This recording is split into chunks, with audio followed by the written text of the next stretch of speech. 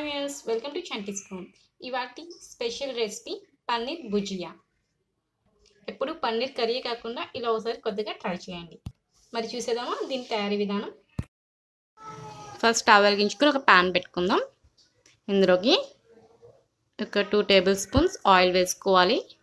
నూనె వేడెక్కాక ఇందులోకి జీలకర్ర వేసుకోవాలి. జీలకర్ర కాస్త వేగిన తర్వాత సన్నగా తగినటువంటి వంటి ఉల్లి ముక్కలు వేసుకుందాం.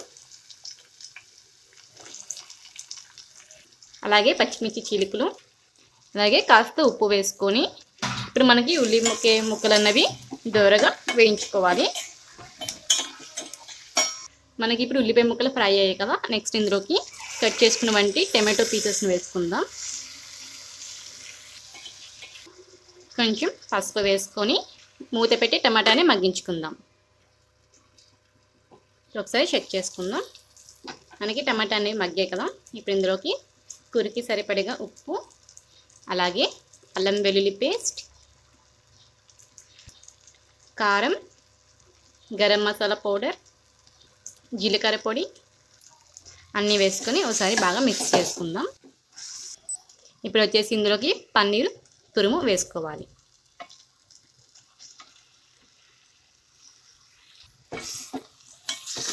ఒకసారి ఇలా డిఫరెంట్గా పన్నీర్ భుజియా ట్రై చేయండి.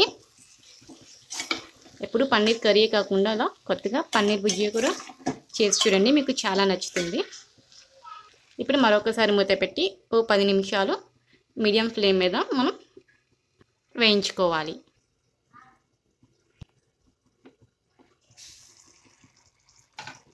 చూసారు కదా మనకి చక్కగా దగ్గర పడింది కదా చివరిగా ఇందులోకి కొత్తిమీర తురుమ వేసుకొని ఒక బౌల్లోకి సర్వ్ చేసుకుందాం.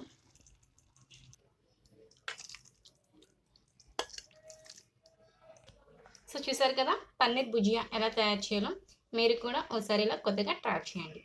అలానే నా వీడియో కానీ మీకు నచ్చినట్టయితే లైక్ చేయండి షేర్ చేయండి. Thanks for watching